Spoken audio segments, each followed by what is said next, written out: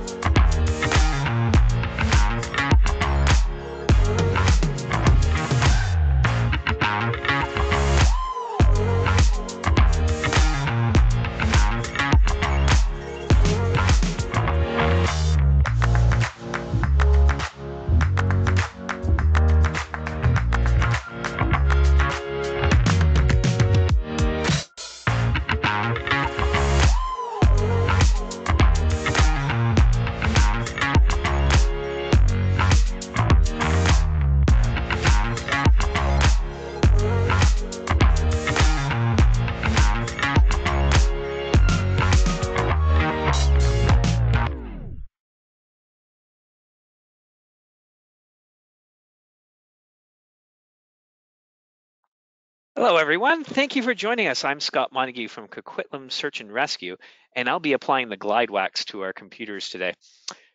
Got some good news for you. If you stick around to the end, we, you might get one of our two special prizes from our sponsors, MEC and HillSound.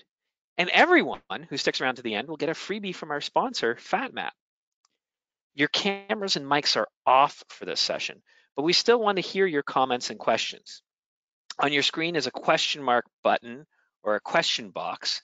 Use it to post anything you want to tell us or ask a question and we'll answer online or in the Q&A part of our presentation.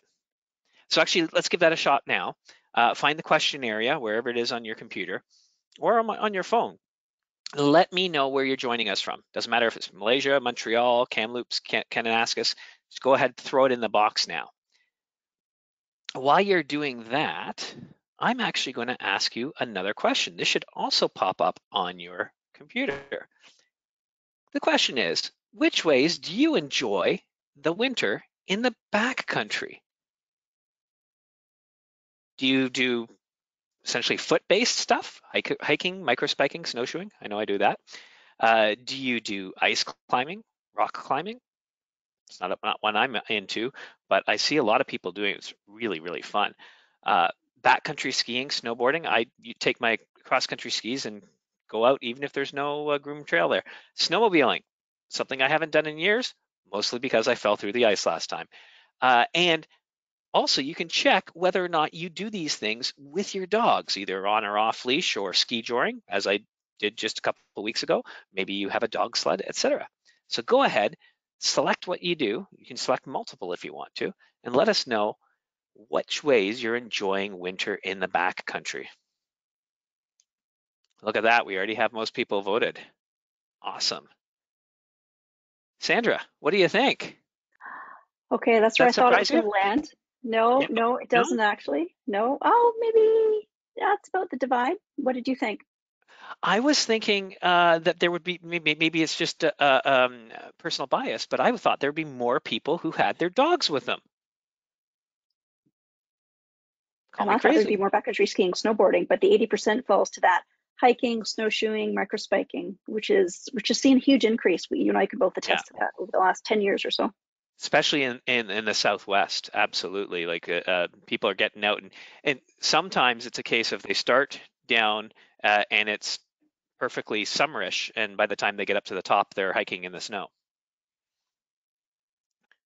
Absolutely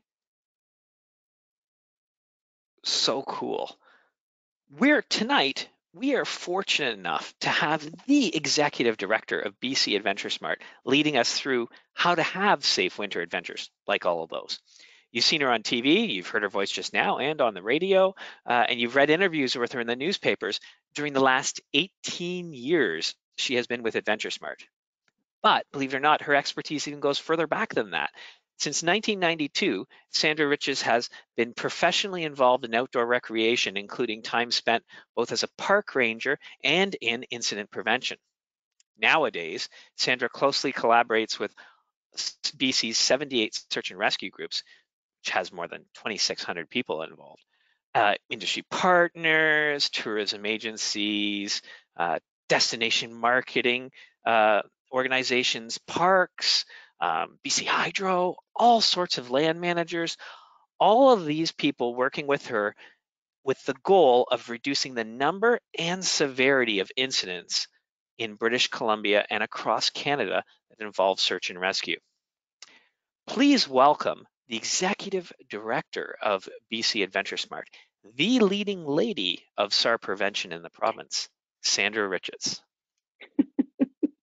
Sorry, the last line makes me laugh. the. Thank you very much, Scott. And Scott is our tech support slash guru, um, bio reader, uh, and Coquitlam Search and Rescue volunteer who's who's offered up his time and energy to support our BC Adventure Smart webinars here that we do with BC Search and Rescue Association. Tonight I have uh, our backcountry snow safety program available to you. It's going to offer you a really great introduction or reminder to outdoor safety, your personal preparedness with you, your family, your group, and your friends, um, possibly people you don't even know. And we're going to talk about those group dynamics, um, emergencies, gear. We'll get into our three T's and, and a little bit of search and rescue data that we base all of our outdoor education on. Scott did mention um, we've got some great offerings for a couple of lucky winners and uh, everyone there at the end um, does receive a one month free trial from FatMap. So we'll talk a little bit more about those those awesome prizes from MEC and Hillsound as we get closer to the end and a couple more polls in there as well. So lots happening and uh, let's jump right into uh, the presentation here so we can we can get going. Um, we've we've got a number of programs underneath our um, Adventure Smart umbrella, which is a national program that started in BC. Uh, uh, we're into our 19th year, actually. We started way back when here in British Columbia. And the whole goal, no matter where you are in the country, uh, is is to follow these three T's. We, we've we, we've considered these as our trifecta of outdoor safety, your foundation in building that uh, safety in your pack, literally, uh, planning processes, what to do in an emergency. It's built in your mind and your pack and, and processes and what we can discuss with our fellow enthusiasts. And the more common this becomes, then it becomes habitual, which is really where, where we're trying to reach with you. So this might be a reminder, hopefully, if you've followed us on social or joined us for any other session, or if it's an introduction, it's easy to, to digest and we'll go into each one of these. And the whole goal behind it all as Scott mentioned in my bio, is we're here to help produce, you're also here to help reduce the number and severity of search and rescue calls in BC. And I have a few stats inserted into the slides as we go through. So I'll share some of those provincial um, search and rescue incident summary details with you and, and how you can learn a little bit more about that. This is Dinah, who's adorable, by the way. And uh, we got approval from uh, Dinah's owner with Whistler Search and Rescue to use this picture. We've used her in some social posts. She gains lots of attention, that's for sure. And, and she's got a great sign there helping you understand what one of the signs is, is all about. You know, recreating into the backcountry is a big decision. That's what tonight's focus is about. We know there's recreating within the ski area boundaries, but tonight's about that backcountry piece and how you choose to go there, what you need to do prior, at the time, during, and in an emergency. Understanding the current avalanche forecast is critical knowing how to travel through that terrain, making those decisions ba based on terrain features that we'll talk about as well coming up, and how to understand and undertake that companion rescue. What happens when there's an emergency of that magnitude? Uh, what do we do and how do we do that? Which comes from a little bit of tonight and a little bit of from Avalanche Canada and your continued uh, training that can be can be had certification based and mentorship. Before that backcountry travel, you need to have a comprehensive trip plan, which we'll share some information tonight about as well. And all the necessary training that, you know, we're choosing to go outside an area that is managed to go into an unmanaged space. And that management comes from us as individuals. It comes from us as group dynamic decision making, that risk assessment, and then management of uh, to avoid any incident from happening. But also when it does, what do we do? How do we do it? Where do we do it and how do we succeed at that?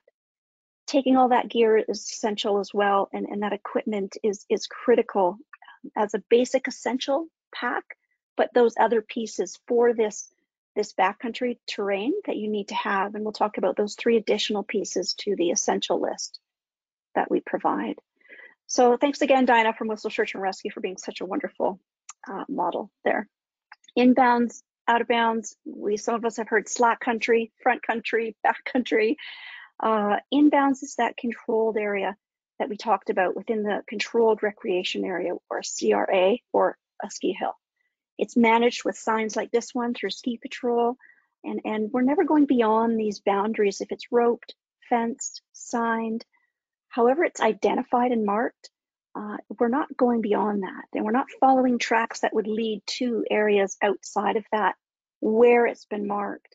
And this is all managed by Ski Patrol. So two thumbs up and a big thanks to all the ski patrol out there who get up well before most of us hit the snow put their boots on bright and early and and get all this managed and assessed so that we can come up and have fun during the day that unmanaged space uh, and this is where i like to talk about out of bounds versus inbound so if i was at this sign and i was i was i wouldn't but if, if i was considering going beyond that i'm going out of bounds now, if I'm choosing to go into the backcountry, that is at a different access point, it's at a, at a, at a trailhead or a gateway that is leading me to a defined area into the backcountry where I know that's where I access it.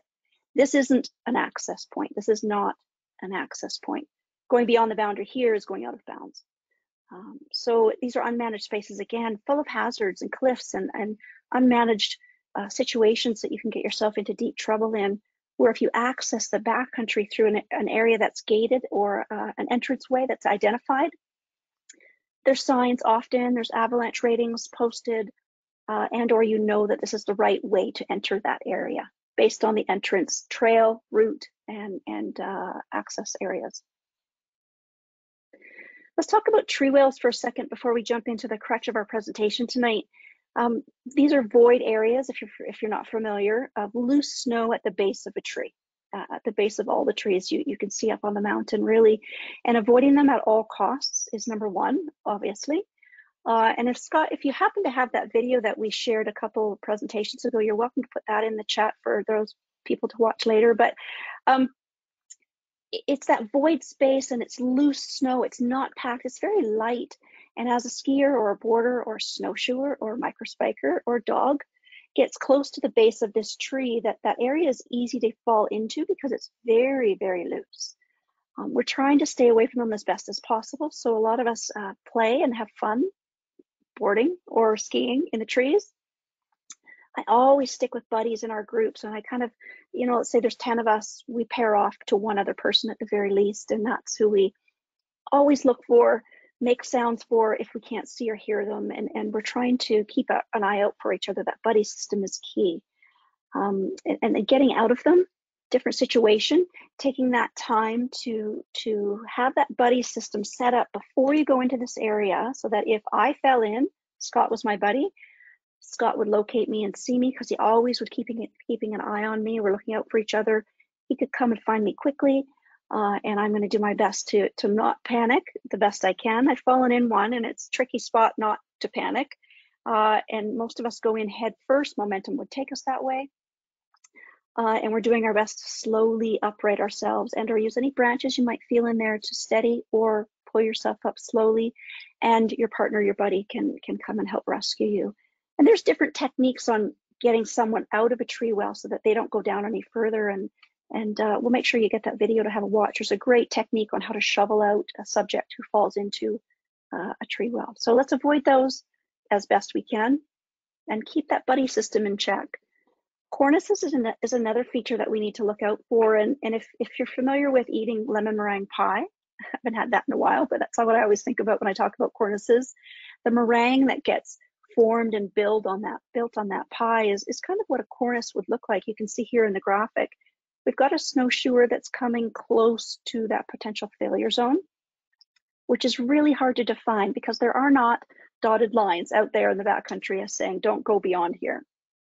That's up to us to assess, understand what's be below us if we're walking on a ridge line like this, uh, or what's above us if we're walking below this cornice down in a bit of a, a draw and we're making our way through an area We're looking up, we're looking down, we're looking out, we're observing the area. What we're also doing is watching the storm cycles. Before uh, you head out for that snowshoe, let's use that as an example, and, and what is that doing for the terrain you're about to go for snowshoe on? Has, has the wind been strong? What direction is the wind blowing? Has there been um, a storm cycle that came through and deposited a lot of snow? Is, is, is, has it been a winter like what we're in right now? There hasn't been very much that's come down. So what's happening out there? We can pay attention to this throughout the season. And I always like to build that snowpack in my head as well and think about the cycles that come through. For snowpack and cornices, those features will change. Breaking off can happen well back from that edge. As you can see where we've put that line, it's way back from where you think you could get. You think you could get much closer. Uh, and so that's, keep that in mind. And they break off suddenly and quickly. You've probably seen some videos out there. And they also then can cause avalanches below. Um, staying away from that edge is key.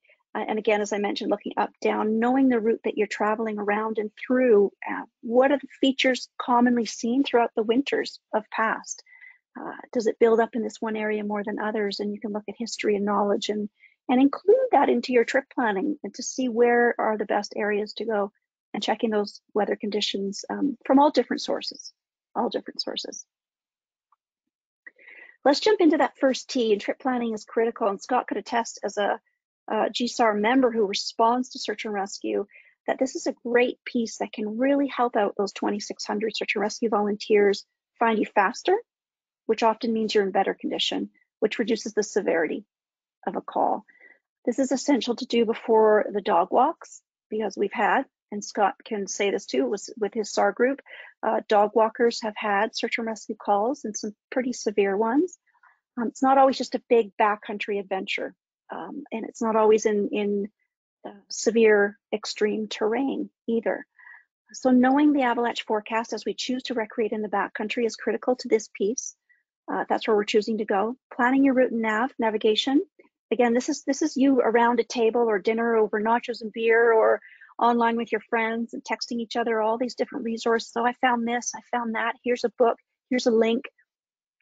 Here's the backcountry snow safety webinar to share it with another group of friends who are going. It's all part of that pre-adventure. So you're planning planning all that prior. This is what's happening beforehand. Knowing the terrain and the conditions is a plus. There's often areas that I will go that I'm familiar with. I know the features, uh, how the cycles would move through that area, um, spring, summer, winter, and fall. And, and so a lot of us go to areas we're familiar with, but this happens to be um, an important piece if you, if you do know that. The weather, we'll talk about how you can compare temperatures against elevation gain and how that applies to situations that might be an emergency. And leaving all of this detail, your group definitions of who's going, uh, what are they carrying, what are their abilities, what are their skills, uh, the car being used or the bus being traveled on, is it a loop? Is it a one way in, one way out? Is it is it connecting different trails?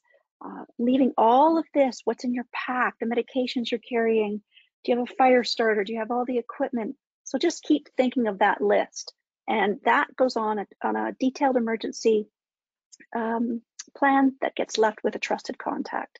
Then they can contact search and rescue if need be. We'll talk about how that happens shortly. First T, trip planning, lots of detail, group group can do it together and then you discuss who your emergency contact is individually and leave that information with them. The avalanche forecasts and hazards, uh, if we're choosing to go into the backcountry, we need to be aware of them. Uh, avalanche Canada, I refer to them so much during the winter. They're our industry cousins. They're the same age as we are. The programs are, not us individually. Uh, and, and so as we're both into our 19th year of doing what we do, uh, they are experts in avalanche ratings, hazards, dangers.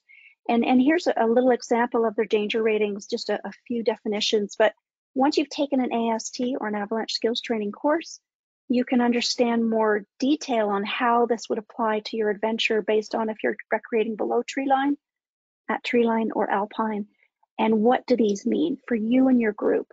And how does that help you decide? It supports your decisions on how you would go to these different areas in the backcountry using the forecast and, and directly apply it to your equation. You're, you're really coming up with an equation that's going to work for you, a successful equation that will work for you based on all of the reliable information you can get. planning your travel route and navigation, there's there's there's so many pieces to this and it ties into not getting lost. Let's go to the very bottom page. I've got a little um, explanation mark there. We collect a lot of data, uh, volunteers like Scott. Uh, everyone who does respond to a search and rescue, that group or one of the managers, enters it all into a provincial data management system. So we have information on all the incidents that happen throughout the province. I get to, and our team at BC SARA, BC Search and Rescue Association, go in there, mine it all out, and figure out what's happening, where is it happening, and who is it happening to. So we know that getting lost and disoriented is one of the, it is the second most common reason for search and rescue in BC. So by you planning your travel route and your navigation, you can help mitigate the second most common reason for search and rescue. Using those guidebooks and the resources we talked about in your trip planning phase uh, knowing your group's uh, limitations and, and abilities and how does that apply to where you'd like to go or where you should go. Those are two, two big pieces. Making sure that all of this activity is, is coordinated and, and, and facilitated uh, within daylight, ideally. We're starting to get a little bit longer of the daylight. I noticed it on my afternoon walk today, uh, which is great, but still that window isn't huge. So our opportunity for recreation is, is somewhat limited at this time of year. And that's a key piece to plan that recreation within that window. Making sure you're all fit enough for your activity. That can also dictate um, how you work with the time that you have and the trail you're on. And, and, and all of this is applied to that route finding and navigation. So lots to go into this piece, but you can, if managed successfully and assessed previously, you can hit this nail on the head and, and not get lost and not get disoriented and help us mitigate the, the second most uh, reason for search and rescue in BC. Let's talk about how we could pick terrain and understanding those conditions, paying close attention to the detail. This will apply to our weather in a slide or two ahead, so bear with me here. Let's do a uh, comparison of Dog Mountain, which is in North Vancouver, Mount Seymour Provincial Park. Uh, my old stopping grounds as a park ranger. It's where I used to work. It's a lovely trail. It's only about five and a half K long and about one hour and 15 to do. Middle picture, true to the North Shore, limited visibility, socked in, low cloud, but you can get a gist of the terrain and it's very uh, doable. Snowshoes, microspikes, and when the trail is hard packed, it's, uh, it's usually quite defined. And if we come over to what you might see here, we've got a little bit of a topographical map. So if you understand what those contour lines mean, you can read that and if not, you can come down and still see the five and a half, uh, 5.6K, and it's about 165 meters gain in elevation. So not too much. I always call this a roller coaster hike, and it gently gets you out to a beautiful view of uh, the city, uh, backside of Grouse. Let's compare it to Sigurd Peak. The length of time is a little bit longer, 14 kilometers, and we're at about almost eight hours here. So big difference. Middle picture defines what it looks like. We're getting into different terrain here, different aspects, exposures. Uh, I'd say we're just tree line here. Uh, and so here's where the avalanche forecast is going to apply. And this is where you'll collect that information at Avalanche Canada based on the region that you're recreating in. And you can really pin down, they're great, their filters are awesome. And it really helps you filter down to the region you're in and the area. And it gives you great, great um, current updates from their forecasters. Checking the weather, it's more than just looking out the window. Uh, it's more than just checking the, the Apple app on your phone, if that's your choice of mobile. And it's looking into the, the different levels of the weather, and it's essential before we go out. We know it could change at the drop of a hat any time of the year. This year, it's been a unique winter, I'd have to say, no matter where you are. I know I'm impatiently waiting for more snow to get skiing in uh, and so is my boyfriend for snowmobiling. But picking different terrain and different areas to play is still doable. But anything backcountry wise is the snowpack's been unique, no question.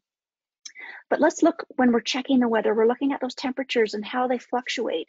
And when is it going to really come down? Snow, sleet, rain, whatever. So by 6 p.m. in this demonstration here, we've got 90%. So I want to, I ideally would want to be done by 5:30 at the latest if the weather could be so um, specific. The likelihood of precipitation, let's pay attention to that. The wind speed's going to be a factor. If we think back to the cornices and how that will build that lemon meringue of snow, the wind speed and the wind direction is, is part of that feature build. Precipitation amount is big. We're all wanting some snow, but as it comes, how does that affect the snowpack and how does that affect our decisions? And sunset time. Do we know what time that does set? And are we prepared to be out there beyond that in case there is an emergency? Because we're always trying to plan that adventure to be uh, back home uh, easily by sunset, easily. Let's just look at this general rule for a second. On a clear day, so think of everything as completely 100% aligned. On a clear day, temperature decreases, give or take uh, a degree or two, by about 10 degrees for every 1,000 meters that you gain in elevation. Let's have another peek at Sigurd Peak. So we knew it was 14K, but we also knew it was eight hours. So you're out there for a bit, a little bit longer. The elevation gain is the big piece here. So we know that if you've gained 2,000 meters, there is, again, with a grain of salt, roughly 20 degrees difference. So imagine it's, let's play a little a scenario game. Uh, this is what you can do, and I encourage you to do in your, in your trip planning phase with your friends. Come up with a scenario and, and go through the paces verbally and just say, okay, what if Scott breaks his leg at 2,000 meters at 5.30 p.m.? And talk about it amongst your group. Talk about first aid, talk about communications, talk about creating a shelter, keeping warm and dry, uh, talk about what's in place if you don't have communication. Um, using your primary means of communication, which are Spot, InReach, Zoleo, because your secondary means of communication, your cell phone, may not have battery use. Maybe it ran out, maybe you got lost it in the snow, there's no cell reception. Have a conversation like that and really go through some paces about um, scenario based emergencies. And we could come up with scenarios. Okay, Sandra, you're in charge of communications. Perfect. George, you're in charge of first aid. Got it. Sally, you're in charge of signaling to the aircraft once it flies over. And uh, John, you're in charge of keeping Scott's mental state calm, collected, comfortable. So we all have to do's. Just a, a little example of what you can do in that phase of trip planning. The comprehensive trip plan, I know I probably broke all the rules on this slide with how much information you put on it. so let's just go to the, the, the one, two, three, four, five W's and the H, which we'll talk about a little bit more as well. That's what's going into your trip plan. We make it easy. We have an app that you can use, and I'll give you access shortly if you don't already have it on your phone. And this is all the information and as much information in each one as possible. Why are you heading out there? Are we skiing? Are we mushroom picking? Are we boarding? Are we microspiking? Are we dog walking? When and when do we expect to be back? Specific information on where, not just I'm going for a backcountry ski tour in the Sea to Sky corridor way too big of an area to think, where the heck is Sandra? Really pin it down. Uh, color, what? Green, red, black, blue. Hopefully it's bright oranges and yellows and, and blue so that it's easily spotted. And who's going? All the details of all of us in that group, our abilities, um, our, our challenges. Maybe I just got over a broken ankle. I'm good to go, but I'm a little bit slower, so we're only going to go halfway, not all the way every bit helps start search and rescue. And then how? How are we getting to and from? Bus, transit, car, drop off, two cars, one car. This is all helpful information for Scott and all the others out there. If something unexpectedly happens, this is where they want to start, is at your trip plan. Uh, leaving this back and forth via text works. You know, you can you can just check in with your emergency contact and let them know where you're going and, and all this information is super helpful. That's one way to communicate an emergency plan. A sticky note on the fridge works if you have a counter in your house or your kitchen or in the front hall where you can leave a detailed note. Um, at the very least, a trailhead selfie. But what we're really asking for is to use a, detailed plan um, created by you so that it can be passed over to your emergency contact you know, we've got color of jackets in here, um, where we're leaving a car, a Garibaldi Lake campsite. There's details in here, right? Times, um, and, and all of this can be left in a text. There's no problem with this, uh, but we do ask for as much as possible. So the more the better. I think you're getting the point there. Names and numbers in case they can't reach me. Uh, and what the app does, it allows you to text or email this all to a friend, and you just fill in the fields of what you should be doing, and it hits all the W's and the H and it allows you to enter that on there. So it's pretty, pretty handy. I'll give you an access to it in a second. training, yeah, it starts from when we were just getting introduced to outdoor recreation, or maybe before we even thought we would. I grew up in Ontario, um, and our family didn't go camping or hiking or mountain biking, or uh, I did a little bit of skiing with some friends, but you know, but what my family and my dad specifically did teach me was how to use an axe, how to start a fire, as one example.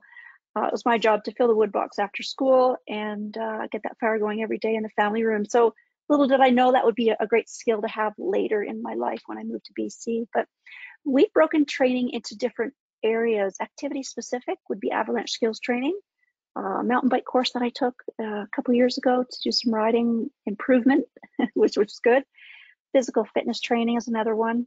Uh, like it or not, it, we're all better off to train throughout the year so that when it comes to ski touring time or sledding, snowmobiling, or mountain biking, or any seasonal sport, we're, we're ready for that. Uh, navigation and route finding, we talked a little bit about that earlier, but having the training to understand how to use a topographical map and a compass together and not just rely on these little devices that we think do everything, uh, but they have some limitations. MEC offers a great 101 uh, navigation. There's great providers out there that you could take courses.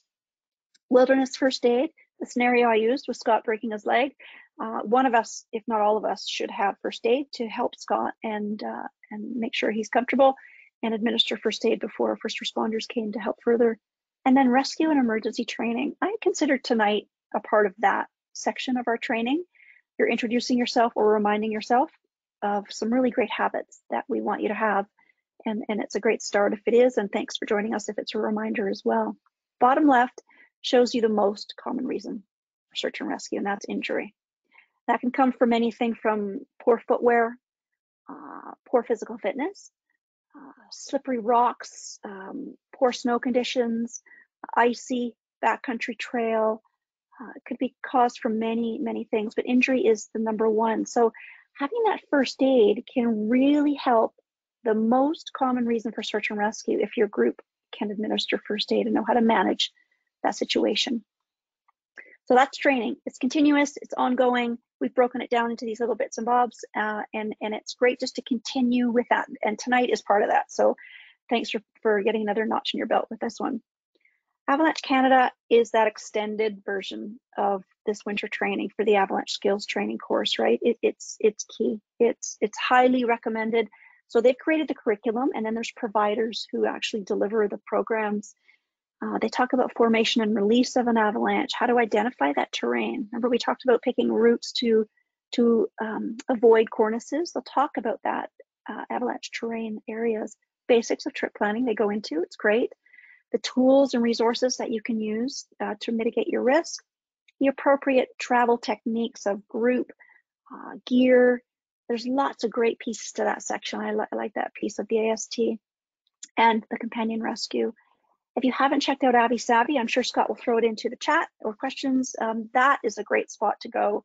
Their website gets you up to snuff on lingo and introduces or reminds you again or you can take the avalanche skills training, but they're Avy savvy and new to the backcountry. They've got some great pages there that can really set you on the right track if that's of interest to, to take it to another level, to take it to another level. And if you're spending time in the backcountry and you've learned some uh, lingo and, and, terminology here with us and, and you're familiar with, then maybe an AST course is the next step for you. Taking this, the essentials with you is key. So this is our third T of the, of the three T's. And packing this with you is easy. I bet you have most of it at home already, or you can borrow it or purchase it and create your essentials, which I consider to be the foundation of your pack. Uh, like the foundation on your house, it supports your family and your system that you run in your home, and it keeps you steady and firm and allows you to do what you do day to day. The essentials in your pack will allow you to do that in an emergency. So we've got our basics, which I'll go through the list, and then we have season and sport specific which we'll talk about those three extra pieces that we have to have for backcountry winter. But let's jump into the basics first and see where that can go. And uh, and hopefully this is a reminder for you or a great list of, of new pieces of gear that you weren't really thinking about al already. We've got a list of check marks here, and a lot of times when we're doing outdoor education at trailheads or at schools or at workplaces in communities, people think, oh, this is a lot to pack. This, is, this sounds too much to look for, put together, and carry. but it's really simple. So we've got a red sack here. The headlamp and flashlight, your light source. Extra batteries are critical to bring along. I love wearing a headlamp. Hands are free for first aid, uh, food, communications. The fire starter is another one to have in there. All the lint from your dryer as you take it out because it's a fire hazard uh, can go in a small little Ziploc bag with some waterproof matches. There's a great fire starter. Uh, cheesies burn really well. Uh, potato chips, an old punctured mountain bike tire tube, cut up little squares, that burns well. Cotton balls dosed in Vaseline. There's many versions of a fire starting kit, but as long as you know how to manage, start, and maintain that fire and put out when necessary.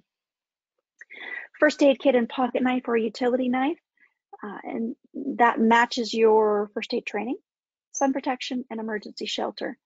That all fits nicely into that tiny little red sack there that we've shown you. So we're trying to show you it's easy, it's simple, and it's it's it's not difficult to pack in your pack. The rest of the items, extra food and water, that's this is extra for those emergencies, right? So you packed your water and your food for your activity, and then the extra food and water is, is in case of emergency. Uh, extra warm layers, waterproof clothing. I have an extra puffy that I love. It, it, pun it punches down really small, it packs up nicely, and that navigation and communication. So those are your those are your basics. That's your foundation. That's your foundation. Here's a few visuals just to expand upon that. So the top left stays the same. So there's our foundation in the top left. And then for backcountry skiing, here's some of the items that you can carry with you and should. Avalanche transceiver, shovel probe. Uh, we've got some extra gloves here, gel packs, banana, some kind bars, goggles. So just an example of some season and sport specific gear. Taking these essentials, these extra pieces, avalanche transceiver, shovel probe, critical. So we've got your, your foundation, the, the, the essentials are all listed, and these three pieces have to go with you into the backcountry. And they're mirrored and matched up and married to your avalanche skills training course that you've taken. So there's a little prep, uh, there's some financial investment, there's time and dedication for you, but this, this is where you're choosing to play um, and manage your own risk. These are the critical pieces that you need to understand. Um, I like, I love this picture. It actually gives a great example of um, using that shovel efficiently, directional shoveling of, of that snow, and and actually the video, if we've got it in there, you can watch about the tree well. They talk about sh the shoveling uh, direction and how you would send that snow in the right direction. This is all part of that AST course too, as well. So those these three pieces need to go: transceiver, shovel, probe. Uh, let's keep moving on here. What to do in an emergency? So we've reviewed the three T's, trip planning, training, taking the essentials, season and sport specific gear. What if an emergency happens? So we know in British Columbia, currently we're just under 2,000 search and rescue calls a year. We're, we're, we're creeping up on getting back to pre-pandemic search and rescue call volume, which is which is very exciting. It was extremely high during COVID. We'll talk about that in a second. I've got a bullet coming up. But if there is an emergency while you're out there, we need you to apply the stop analogy. Stop, think, observe, plan. If you can just remember the stop piece and stay there, that's a great start, if not one of the most important pieces. This analogy um, really highlights the importance of that survival attitude that has included all of your planning and everything that you, you led up to this point, rather than irrational behavior based on fear. And don't get me wrong, fear might still play a role. Anxiety, worry, maybe injury, cold, weather, dark. There's there's a lot that's going to go through, but if we can think about at least applying the stop analogy, and maybe in your pre-trip planning over nachos and beer, you came up with a, a, scenario that allowed you to kind of go through a little bit of the baby paces to see what you would do in this emergency. This is a big piece to remember. We've talked a lot about that a lot on our socials lately who to call. Uh, you know, Scott and I know a few people in search and rescue in the province of BC, but if Scott got lost and needed help, or if I got injured out there and I needed help help from search and rescue, him and I still, and along with all of you and everyone else, needs to phone 911 uh, if you have reception on your phone. We'll talk about secondary and primary pieces a little bit more. So this is your secondary piece of communication. So let's say you do, let's be optimistic. Let's say you do have cell reception and you can use your cell phone. The number is 911 and you're going to ask for police and they will then dispatch uh, that local search and rescue group to you based on the needs of the call. If it's avalanche, swift water, high angle, backcountry, front country, uh, seasonal, that will be defined then. But it has to go through 911 to get a tasking number uh, through the services. So 911, ask for police, explain your situation.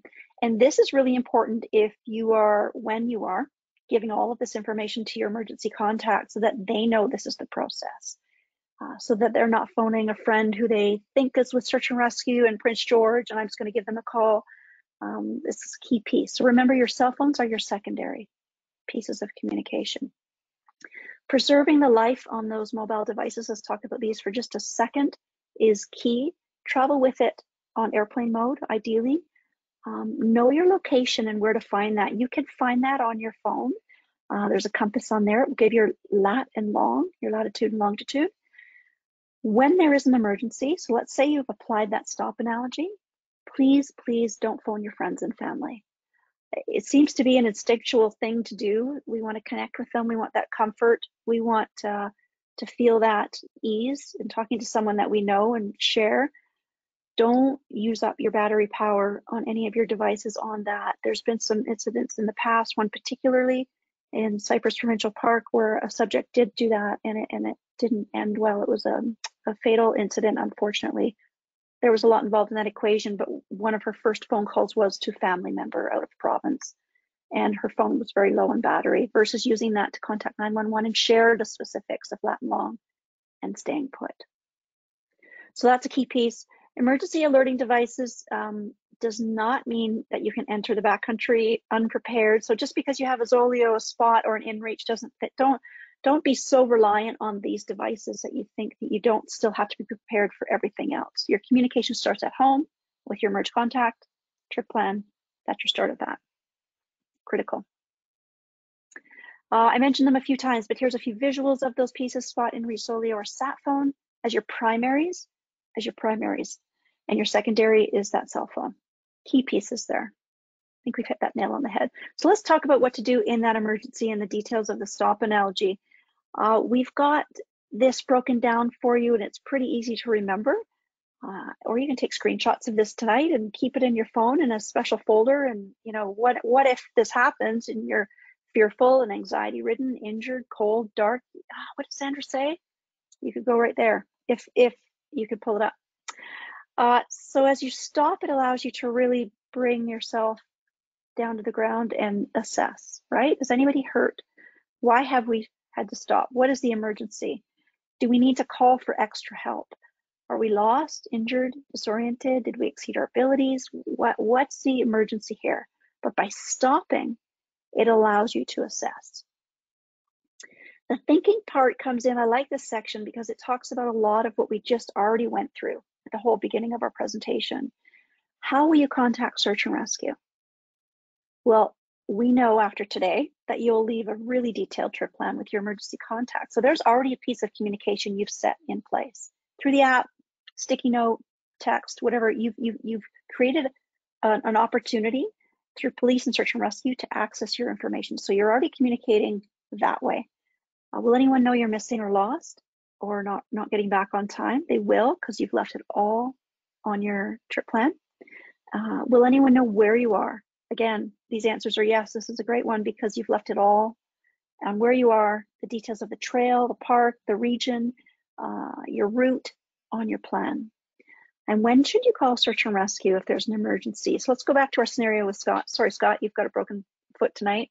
Uh, when should you call? When should i call if scott was injured? I'm going to call as soon as possible there's so much that goes into play from when I make that phone call until it gets through police to search and rescue. The SAR volunteers are um, paged, texts, notified. Uh, they have to assess their safety after they've reached the, the destination to start that search. What are the conditions for them to enter that area? Is it safe for them? Is it avalanche prone? Is it is are there weather conditions there there's that place. They have to make a lot of decisions where it's safe for them to go first before they will start to look for you. Long story short, I'm great at long answers. Uh, you need to phone right away as soon as possible. Are you prepared to treat a medical emergency? That goes back to the training piece for first aid. So the answer would be yes. And do you have the essentials to keep warm and dry? Again, yes, this slide's a nice positive energy and uh, it, it, it, you're all equipped for all of these questions to, to answer them and do them properly. So there's ways to think through this and be comforted that you've got all this in place and you're able to do it. Your observations are key. We talked about tree wells and cornices already and, and different um, backcountry features that might be hazardous. If it's cliffs, signages, uh, avalanche terrain, avalanches. Um, and as we observe where we've stopped, we're choosing a safe location. And are there any other immediate hazards around us? Are we close to fast creeks running below the snow right now? It's melting like crazy. Is that a concern? Uh, are we below cornice? Are we near tree well? Uh, let's make sure we're in that safe area. So we're looking to create shelter, make shelter, build shelter in a safe space at our stop location. And if there is a clearing in that that vicinity, that's a great spot to make yourself as big as possible to aircraft when and if they don't always, but when and if they do fly over and you're allowed to make yourself more visible, bigger, brighter, and seen. We have a good slide for that coming up too. And now you get to plan. So you've stopped, you've thought, you've observed, and now you're planning. You're using the essentials from your pack as a group. Um, because you've all carried this, not just one out of 10 has carried this, each of you car has carried everything. You're using the essentials to build your shelter. Uh, it could be a shelter you've, you've carried in. Um, you're building a fire, which we've seen some examples already this winter of incidents where I think it was either snowbikers or snowmobilers that had built a fire while they were waiting to keep their their friend warm and the group uh, comforted while they waited for search and rescue. So knowing and having that ability and able to do it is, is a great piece there. And adding those warm layers to keep warm and dry. Um, the average search and rescue call time is about six hours. So imagine, Scott again, broken ankle still, sorry Scott, it's 5.30ish and we've called in. Now it's dark already. It's easily dark by 5.30, it's cold, he's injured, uh, we're having to manage, and we've got about six hours of a window here that we need to keep warm. We need to keep fed, hydrated, happy, uh, comfortable, um, not worrisome as much as we can. So keep that six hours in mind, and that's all based on data driven insights that we get from all of the incident summaries. We're allowed to share that. The clothing is critical. It's never cotton, and it's always a three layer system. We've got our base layer that's fitted and nice and fit, um, almost like a hug a, a top and bottom layer. Uh, synthetic or poly polypropylene are ideal. Um, we're tucked in and, and we're warm. That layer system helps us. The, the middle layer is thermal. It can be a fleece, um, uh, a puffy, which so many of us have now, and then that outer layer, prote layer protects us. There's often pit zips, and, and we can really regulate quite efficiently in some pretty great temperature ranges with that three layer system with the right material that we're using. Here's a great example of, of someone who's created a fire and, and really kept it under control and burning in the wintertime. And another one who's probably taken some bushcraft and found some great wood stock there to create uh, their shelter with a bit of a lean-to, an emergency shelter, uh, lots of wood there, and and can keep warm, and that that should reflect some some heat in there to his shelter while he waits. So clothing is important, fire, shelter, all key pieces to keeping comfortable until search and rescue can find you. As search and rescue look for you, it's often on the ground, uh, via snowmobile, um, on mountain bikes outside of winter season, sometimes in aircraft. It's not always in aircraft. I know a lot of the media coverage in the high density, density populated areas in the province southwest see a lot of helicopter use. That's that's not always the case everywhere we go in the province, so keep that in mind. If you find yourself lost, if you do happen to hear an emergency uh, aircraft overhead, here's a great example of someone who's who's created an SOS. They've made it big, bright, colorful. So here's some ideas to be heard, seen. Um, brighter, bolder, louder are your key pieces. And as we conclude, because we want to open up for some questions and a couple more polls, I believe, and offer our prizes. Uh, as a reminder, let's try to incorporate those three T's the best we can, trip planning, training, and taking the essentials adding the season and sport specific gear, uh, using us and Avalanche Canada as reliable industry uh, leaders in outdoor education and using our information and courses, sharing it with your friends and family so that we can all spend time out there. Uh, we all know how to take our phone our camera on our phones, go over the QR code that will access you to the app. And again, just a few stats there.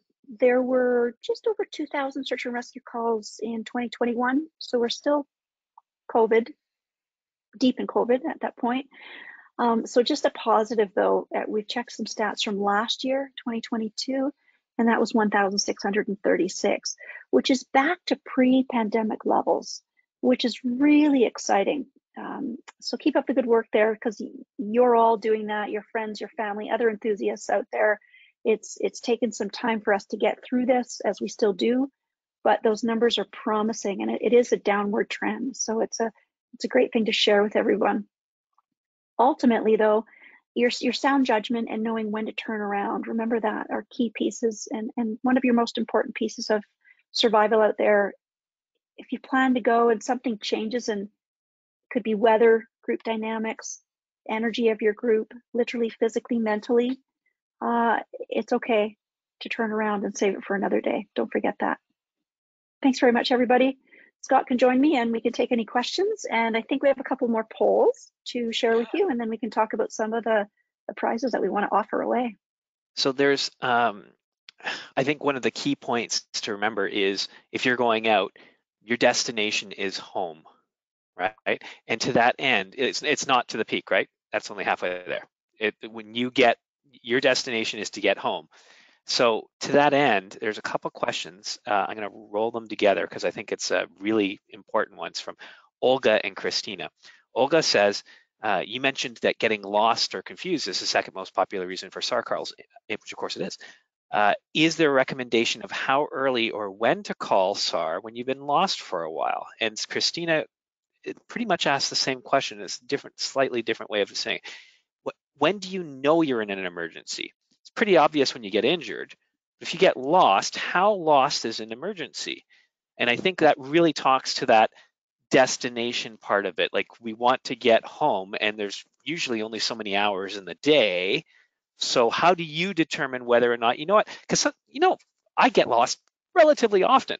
Uh, and it's usually only for like 10, 15 minutes. And I'll go, oh, yeah, there it is. I, I, I, backtrack and then I go, oh, there's the diamond on the tree. And yeah, uh, now I can keep going, right? Uh, so how do I know when is the right time to go, holy crow, I'm not finding the diamond? Yeah, you made some good points, Scott, and those are great questions. I'm glad you put them together. Thanks for asking. Uh, you know, I love to head outdoors and I do a lot. So does Scott with people I know, and and and we make decisions um, well together, and we strategize well together. We plan well together. We respond to hiccups well together, and and and I know activities now often are done by those who don't know each other very well, and it might be through Meetup. So those decisions in the field, if we're lost, as we're using this example, might be different for that group. I can't emphasize enough about that. Even trailhead chat if you're new to a group to each other. Uh, but in the heat of the moment, you know, if you think you're in trouble and if you think you're turned around, apply the stop analogy. Really use that use that to your advantage. Someone uh, commented the other day when we posted about it, and they said this doesn't just have to be for emergencies in the mountains.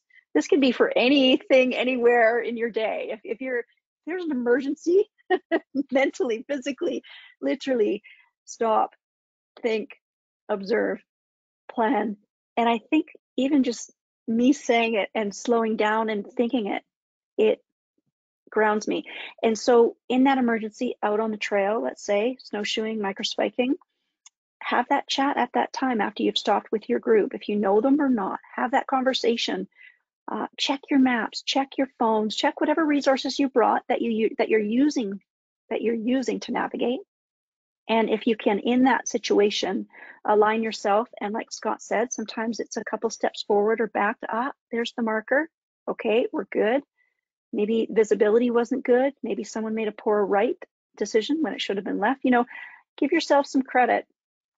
If you really think that you're lost, uh, as I said, uh, call for help and, and initiate that search and rescue. And Scott can back me up. I'm sure they would rather be on their way to find you and have um, their SAR manager say, okay, it's off or they're stood down, then Absolutely. you wait and delay that call. So if you really think you need help, uh, don't hesitate.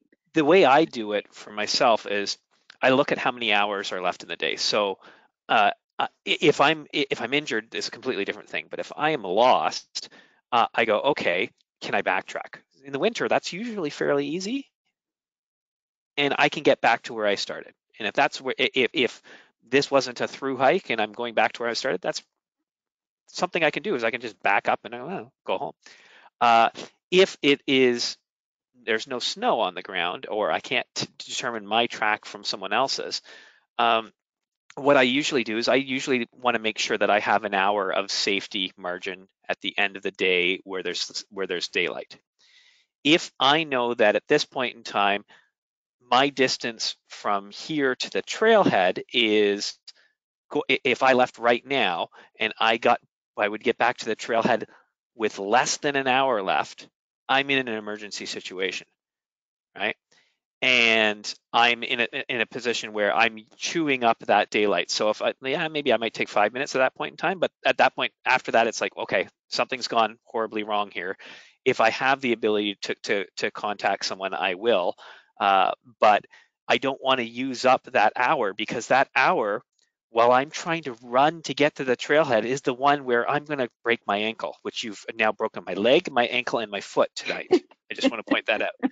So I'm going to I'm going to break another part of my appendage. There's only so many parts that you can do. Maybe my knee is next, but uh, I'm going to do that by, by rushing at the end. And so if I make that call and then I do end up getting out, they might not even like SAR might not even be at the trailhead by the time I get out and I can call them and I can say, hey, turn around, and they'll be great. Thank you. So glad that you you got out. But please, whatever you do, if you call SAR and you get out, call us back, please. Don't just leave. yes, communication is key, isn't it? Communication is key. Absolutely. Um, what are your thoughts about carrying a probe beacon and shovel when snowshoeing alone?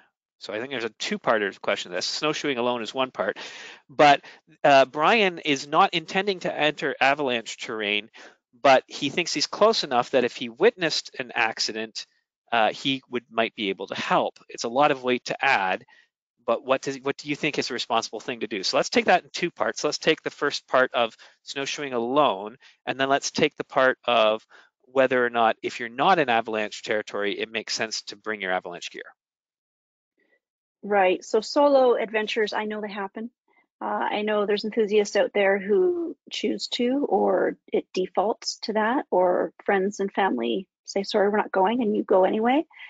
You know, our adventure smart message, no matter what, is to have others in your group. Really, there's, there's, there's, that's, that's the solid uh, adventure smart answer to share with you. We want to always be with others in case something happens. I always say three is my, is, you know, the ideal situation if there's an emergency again okay now you've broken your shoulder scott here's the third the fourth the fifth injury for you uh, and i'm first aid now and my daughter haley is in charge of communications so there's a situation where we have enough of us to each have a role uh, three or four even you know there's there's a, there's more uh, roles in emergency situation to manage that situation than just one or two or three or four, ideally, right? Someone's starting a fire, someone's communications, someone's first aid, someone's creating shelter, someone's getting some food on the go. So imagine the best scenario you can. And that isn't just with one person out there. So the best scenario is with others to support you and you can to and you to support them. That that's that's uh that's a solid adventure smart answer to that one. Uh, the other on to the second part.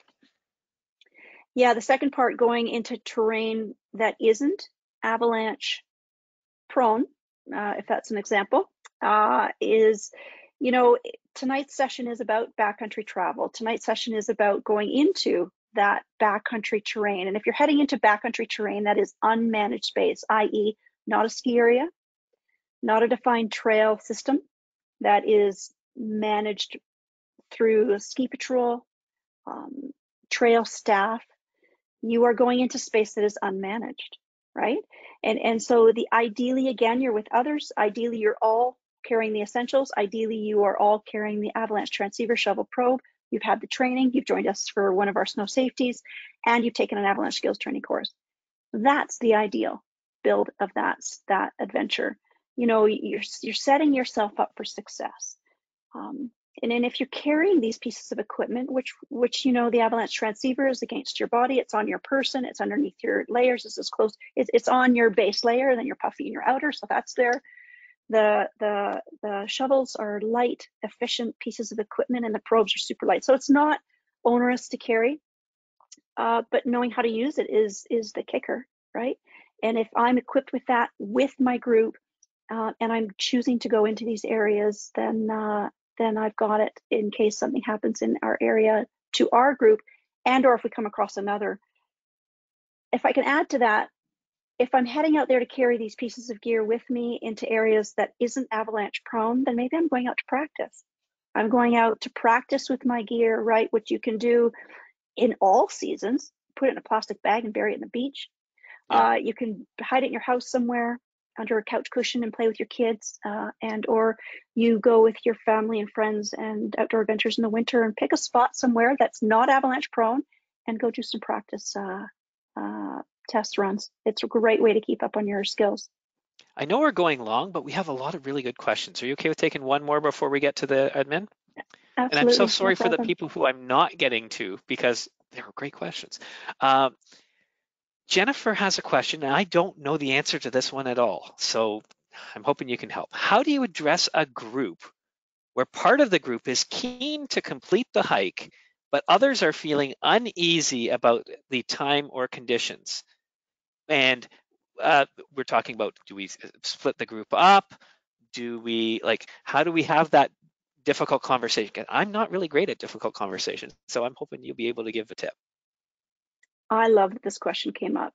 I really do. And, and it's come up recently, uh, when I say recently, this winter. Uh, I think it might have been late fall where there was an incident out there. We won't get into the specifics of it, but I can highlight what we can do and what, which wouldn't be easy in a situation to to address this, right? Um, again, I'll go back to that. Sorry to be that onerous repeater of that information, but let's go back to that first T and that trip planning, and we we're having discussions there we're actually having discussions uh, about what if this happens? What if you and Scott and Haley and Brady and Walker and we're all out going to do an activity and two of us want to continue and two of them are spent, done, they've exceeded their abilities and want to turn around. We're going to talk about that over the nachos and beer in our trip planning phase, right? So that when we get out there and if that actually happens, we kind of can say, hey, remember when we chatted about if that doesn't happen, still stop Let's apply that stop analogy again. Mm-hmm. So it has so many applications. And think about how we can mitigate this situation. And, and Scott, you reminded everyone, and thanks for that, our destination is home. It's not that summit, it's not that peak. And as something has happened in the group dynamics, we're always going to stay together. We're not going to exceed someone else's abilities because another can reach the halfway, the peak so that they get home. We're going to have that discussion right there on the trail and we're going to stop. And as I got this last slide here, we're going to use our sound judgment as a group to support each other and really talk about this is a, this this might be a turnaround point. This might be our turnaround point today based on weather, uh, trail conditions, uh, daylight, abilities of the group. Someone's tired, mentally not well. And, and so having that conversations and this ties really well into, which I didn't mention, our third reason for the most common reasons for search and rescue in BC is exceeding abilities. Mm. So let's say this conversation um, came about and two of them decided to go and the three others were like, oh, okay, yeah, I guess we'll stay together. Really, they wanted to turn around. Now those three are exceeding their abilities. That's the third most common reason for search and rescue put on that sound judgment and and use that sound judgment and make that decision together to support each other so that you can reach your destination and that might be your turnaround point and maybe you get to come back next weekend or next month and try it again so you get to do it twice which is a good thing you can always offer to pay for a hot chocolate uh, uh, for the people who are keen to go uh, when they when they get back right? Or hot chocolate or a beer. Listen i'll pay for there your beer. Sorry about that. Yeah. But we do need separating separating is is always something we want to avoid. So let's stick together and, and reach that destination which it might be um, earlier than we think but it's still a great adventure Bob had one comment, and that'll be the last thing that we'll be able to get to today, sorry folks. Uh, he says he thinks people forget that it takes time to organize a, a search and commence it. The question he asks himself when planning a trip is, does he have enough resources to tide him over until help arrives? And as you said, six hours is the average based on the re most recent uh, reports we have. Uh, that means that there are some that are way more, and there are some that are less, right? Uh, and if it's 14 hours, it could be 16 hours, right? Uh, average is only right in the middle. you can get people things at either end. Um, and Bob asks himself if he doesn't have enough resources to tide him over till help arrives, what should he uh, add to his pack? Like, what are the things that he's going to need to do? So he, he makes that question at the trailhead, which seems to make a lot of sense to me. Absolutely, absolutely. Let's do a quick poll. See if Sounds people good. people uh, uh, remember what we what we talked about here. Uh, I I already told you this average search and rescue call lasts uh, six hours, so I'm not going to ask that question again, but I'm going to ask you this one. Hit me. When you're waiting for rescue in the winter, what meth methods do you recommend to keep warm? What recommends? What methods do I recommend you keep warm? Go for it. So I'll let you know, everyone who's here. Scott made this list tonight. This, this is a great list of uh, select one or more of the following. Let's see. We could have some interesting answers, Scott. I'm hoping, I'm hoping, folks, that, oh, there we go. Once I hit that number there, we go ahead and share. I'm hoping folks uh, selected uh, plenty of whiskey because they wanted to play, which is uh, which is fine. But generally, don't forget uh, alcohol in the winter cools you down because it uh, opens up the um, uh, it makes your face feel warm by opening up the the uh, vessels, uh, blood vessels, uh, but that actually cools you down faster, so it'll lower your uh, your temperature. But all those other options, great options for uh, keeping you warm in while you're waiting for rescue. Now, Sandra, you had things to give away. Were you going to ask questions, perhaps? I am. So, Mountain Equipment Company has graciously offered an awesome, it's an award winning, which I wasn't aware of until I, I heard from them, uh, Tour 32 pack. It's, so it's an awesome pack and I, you may have seen it. I added it to the discussion of our event uh, recently so you could see it's really cool, pretty sleek looking.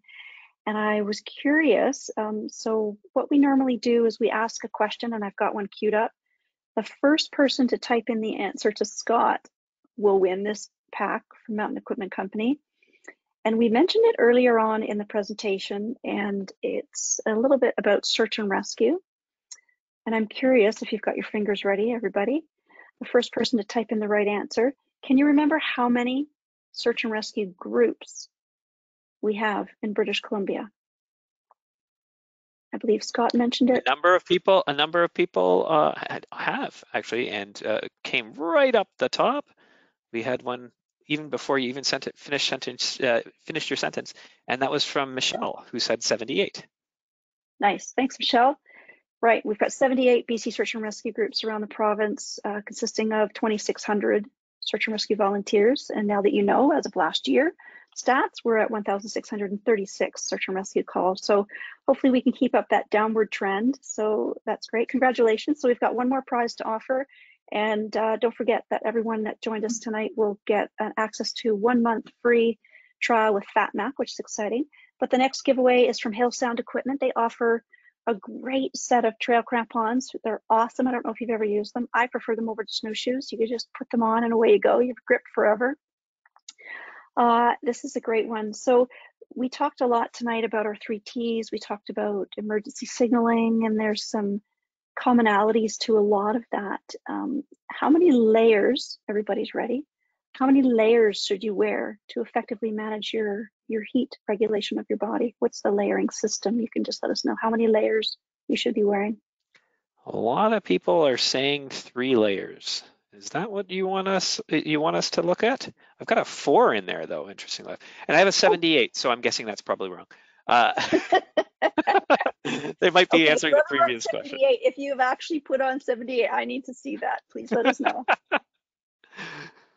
so yes, yeah, so Joe uh, was the first person to answer three. So remind us what those three layers are. So we've got our base layer and it's synthetic polypro polypropylene or synthetic. So it's nice and fitted and hugs you really well to wick away the moisture. Uh, the mid layer is thermal, it's puffy or a fleece, which really uh, regulates and keeps you warm. And then that outer is protective, it's Gore-Tex often, uh, and that protects from wind, sleet, snow, rain, and has some pit zips. So the three layering system allows you to really easily in great temperatures, extreme, uh, regulate your, your temperature really well. So great. Those are great crampons, by the way, and that pack is awesome too. Marvelous. And I think we're pretty much done. You're going to get that FatMap link when you get an email tomorrow from us, uh, and it'll be it'll be there as well. So don't have to worry about trying to grab it from the chat. Uh, and we have more of these sessions coming up, don't we? We do. So we've got a really great one coming up in February, and it's with a Good Samaritan who applied the stop analogy actually. Yeah, and it, it's in conjunction with Squamish Search and Rescue. So it's a Sea to Sky Corridor uh, incident. And she applied the stop analogy and helped an injured hiker that she came across. So her and her husband applied uh, that um, one of our messages, and she said she she really was introduced to that stop analogy from us. Was out there on a trail with someone and was able to apply that message. So that's pretty cool. The one after that is with a lost hiker, and that person's going to share their story, and that's in relation to Ridge Meadows Search and Rescue. And then the last one is on March 21st with Will Gadd, mountain hero, uh, adventure athlete. Uh, if you don't know about him, look him up, and if you know about them, you'll want to join. Uh, so we've got a few more to go, and then we're already queuing up for summer 2023. It's not that far away. Thank you very much, everybody. Thanks everybody Thank for helping us. We really appreciate you taking the time to show us uh, uh, the Snow Safety AdventureSmart presentation. Pleasure. And thanks to everyone who joined us. Hope to see you again. And this really does help reduce the number and severity of search and rescue calls for the province of BC. Take care. Good night. Take care.